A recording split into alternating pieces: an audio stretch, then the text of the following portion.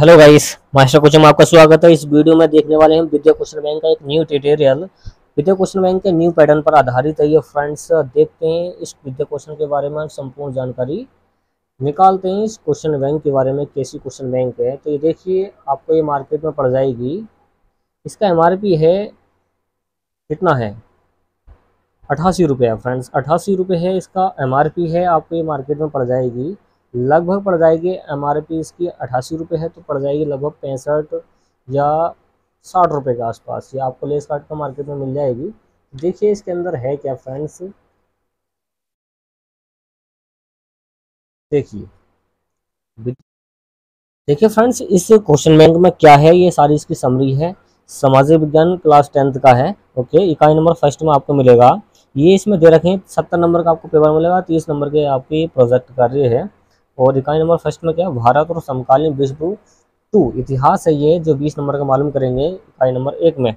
और खंड नंबर एक है इसका घटनाएँ एवं प्रक्रियाएँ, जो नौ नंबर का मालूम करेंगे। और फ़र्स्ट है इसका चैप्टर यूरोप में राष्ट्रवाद। और ये इसके इम्पोर्टेंट पॉइंट्स हैं कि 1830 ईस्वी के बाद यूरोप में राष्ट्रवाद का उदय। ये इम्पोर्टेंट पॉइंट जो आपको पढ़ेंगे। मतलब पढ़ेंगे इस चैप्टर के अंदर। ओके और नंबर दो चैप्टर इसमें भारत में राष्ट्रवाद, और इसके इम्पोर्टेंट पॉइंट्स हैं, और ये आपको मिलेगा नौ नंबर का, फिर आता है खंड नंबर टू जीविका अर्थव्यवस्था एवं समाज, ये छः नंबर का मिलेगा आपको, और इसमें है भूमंडलीकृत विश्व का बनना, इस तरीके से मालूम करता है ये। और फिर आता मानचित्र कार्य, इस इकाई नंबर एक में आता मानचित्र कार्य, इस तरीके से। और इकाई नंबर दो आ जाती है फिर, इकाई नंबर दो में क्या है? कि पहला चैप्टर है, संसाधन एवं विकास। संसाधन एवं विकास इकाई नंबर फ़र्स्ट में है। दूसरा इसमें कि वन एवं वन्यजीव संसाधन है, इकाई नंबर एक में। दूसरा चैप्टर है, तीसरा चैप्टर है, जल संसाधन है। ओके ये सारे आगे जो है, इसके इंपॉर्टेंट पॉइंट है, इसके बारे में आप डिग्री तरीके से पढ़ेंगे इस क्वेश्चन के अंदर। फिर आता है चैप्टर नंबर फोर कृषि आता है। क्या आता है? कृषि। ओके इस तरीके से डिवाइड कर रखा है, फिर आ जाती है आपके पास इकाई नंबर टू छः नंबर की है। खनिज एवं ऊर्जा संसाधन है। इकाई नंबर फ़र्स्ट था, इकाई नंबर दो में इकाई नंबर फ़र्स्ट था और इकाई नंबर दो में इकाई नंबर टू है छः नंबर का। अब चैप्टर नंबर फाइव आ जाता है, खनिज तथा ऊर्जा संसाधन। फिर आता है, राष्ट्रीय अर्थव्यवस्था की जीवन रेखाएँ, मानचित्र कार्य इस तरीके से आ जाता है। तो ये मिल जाता है आपको बीस नंबर का। ओके, इकाई नंबर तीन में आता है, लोकतांत्रिक राजनीतिक नागरिक शास्त्र बोलते हैं इसको। नागरिक शास्त्र इस इकाई नंबर थ्री के अंदर इकाई नंबर फ़र्स्ट है। सत्ता की साझेदारी एवं संघवाद। सत्ता की साझेदारी एवं संघवाद है ये। और अध्याय नंबर थ्री और फोर में ये लोकतंत्र और विविधताएँ हैं, जाति, धर्म और लैंगिक मसले हैं। ओके, अध्याय नंबर फाइव में आपके पास मिलेगा, लोकप्रिय संघर्ष और आंदोलन है आपके पास। इकाई नंबर जो अध्याय नंबर छः है, इसमें लोकतंत्र के परिणाम आते हैं। आते हैं लोकतंत्र के परिणाम आ जाते हैं। और इकाई नंबर टू, ये कितने नंबर के सात नंबर की तो इस तरीके से आप देख सकते हैं फ्रेंड्स ओके। और आपको देखने के लिए मिलेगा इसके अंदर। ये सारे के सारे इसके प्रश्न पत्र की रूपरेखा है, अंक विभाजन है, कौन से कितने नंबर का मालूम करेगा? बहुविकल्प मालूम करेगा आपको एग्ज़ाम के अंदर। एक नंबर का एक क्वेश्चन होगा तो मिलेंगे आपको चार। चार इतिहास से मिलेंगे और नागरिक शास्त्र मिलेंगे और भूगोल से मिलेंगे। तो टोटल इस तरीके से विभाजन दे रखा है। ओके, देखिए।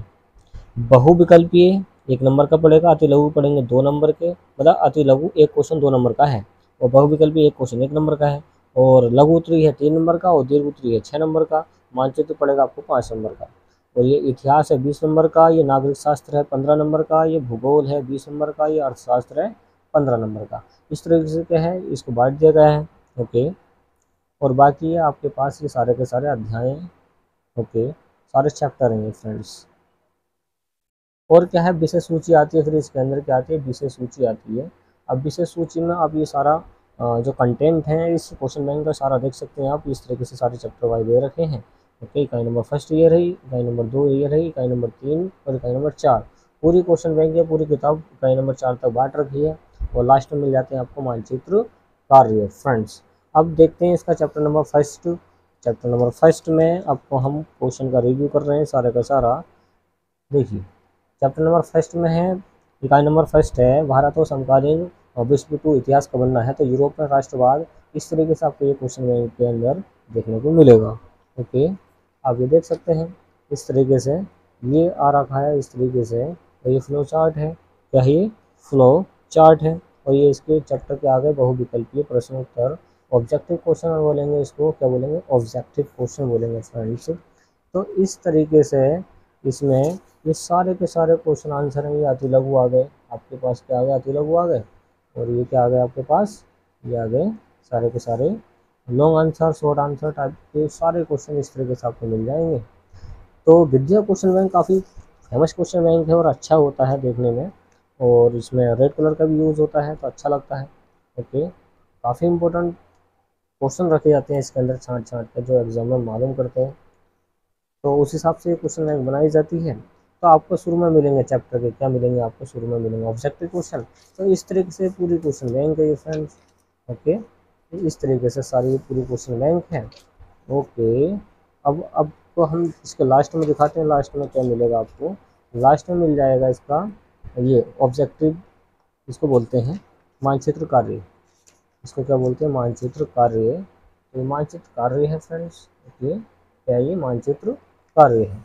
तो मानचित्र कार्य में आप ये इस तरीके से देख सकते हैं, इस तरीके से पूरा आपको चित्र मिलेगा और इसमें आपको पता होना चाहिए कि कौन कहाँ पर है।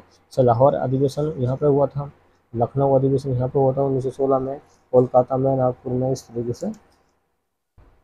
सभी आपको समझाया जाएगा कि मानचित्र कैसे, कार्य कैसे बनना है। ये केवल हम रिव्यू कर रहे हैं, इस क्वेश्चन बैंक में आ क्या रखा है।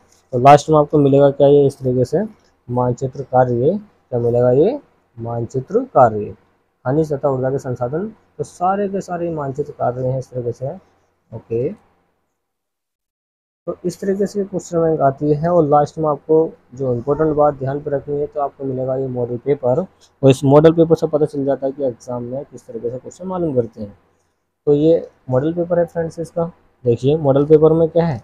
शुरू में आपको ये ऑब्जेक्टिव क्वेश्चन मिलेंगे इस तरीके से। क्या मिलेंगे? ऑब्जेक्टिव क्वेश्चन फिर अति लघु क्वेश्चन फिर लघु वाले, फिर दीर्घ वाले मिलेंगे। तो इस तरीके से आपके लिए ये क्वेश्चन बैंक बनाई गई है, जो काफ़ी अच्छी क्वेश्चन बैंक है, देखा जाए। तो ये फ्रेंड्स इस साइड से आपको ये क्या है मॉडल नंबर एक कंप्लीट हो जाता है। ये मानचित्र कार्य दे रखा है और ये फिर से इसके क्या गए ऑब्जेक्टिव क्वेश्चन आ गए। इसके आ गए? ये आ गए भूगोल वाले। ये भूगोल वाले के ऑब्जेक्टिव क्वेश्चन आ गए, वो इतिहास वाले थे। तो ये अति लघु के क्वेश्चन आंसर हैं। ये लघु वाले आ गए, ये दीर्घ वाले आ गए। तो इस तरीके से ये लास्ट में मानचित्र कार्य आ गया। ओके तो मानचित्र कार्य आपको पड़ेगा, कितने नंबर का पड़ेगा? लगभग पड़ेगा दस नंबर का। पाँच नंबर का ये रहा और पाँच नंबर का ये रहा। तो इस तरीके से क्या दस नंबर का मानचित्र कार्य होगा? पूरा मॉडल पेपर आपने देख लिया कैसा आता है। तो फ्रेंड्स उम्मीद है ये सारे, देखिए, तीन मॉडल पेपर हैं इसमें। ये दूसरा था, ये दूसरा है मॉडल पेपर तो ये तीसरा इधर आ जाएगा। ये तीसरा मॉडल पेपर है इसका। क्या है? ये तीसरा मॉडल पेपर है। ओके, ये सारे इसके क्वेश्चन आंसर हैं। और इस तरीके से ये क्वेश्चन मैं बनाई है। उम्मीद आपको वीडियो पसंद आई वीडियो को लाइक एंड शेयर कीजिए। चैनल को सब्सक्राइब कीजिए। थैंक्स फॉर वॉचिंग गाइस मिलते हैं इसकी एक ऐसी ही नेक्स्ट वीडियो में फ्रेंड्स